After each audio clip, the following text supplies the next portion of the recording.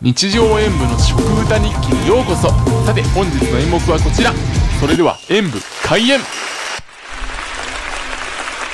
じゃあ、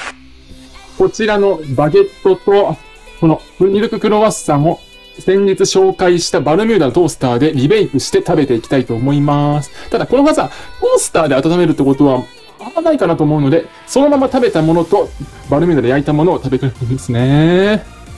うーん、バゲットって、なんか、こういうのを食べるの初めてな気がします。どんな味なのかなでは、まずはそのままでいただきますね。チャンネル登録よろしくお願いします。うわー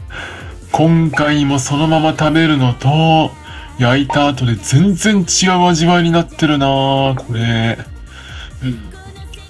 そのまま食べるとなんかなあまずくはないんだけどちょっとっていう部分があるんですけど焼くとその部分が見事に克服されてさらに上に行っているなんだろうな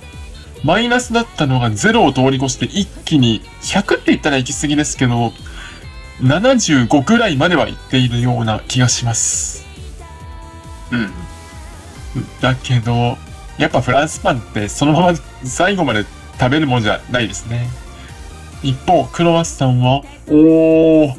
これも、変わるな。で、まあ、詳細なレビューは、このままと、すぐごちそうさまでした。まず、こちらのバゲットなんですけど、そのまま食べた場合は中の生地はふんわりしていて、外側の側の部分はただ硬いだけかなって思ったんですけど、トーストすることによってそこがバリバリ強い音を奏でるようになって、より美味しくなりましたね。ただやっぱり、バゲットだけで食べるのは少々きつかったです。うん、ジャムとか用意した方が良かったかな。あるいはサンドイッチのな、通じて、アメリカ人なんだ。意外もう言葉がうまく出てこない。あの、ポケモンみたいなサンドイッチを作るとか、そういう風にした方が食べやすいかなと思いましたね。まあ、そのまま食べる人の方が珍しいのかもしれないですけど。で、こちらクロワッサンなんですけど、元のまま食べると結構もったりしてるんですけど、バルミューダで焼くことによって、なんか、いい感じに水分が補給されてしっとりしますし、クリームも溶け出して、